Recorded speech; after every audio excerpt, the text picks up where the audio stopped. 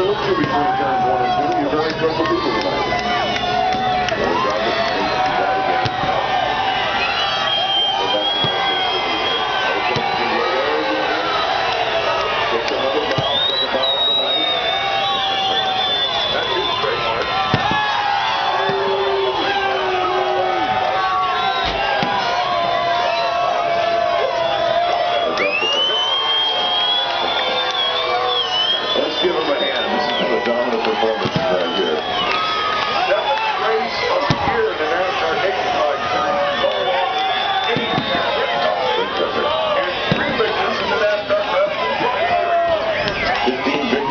Gibbs Racing in the nationwide.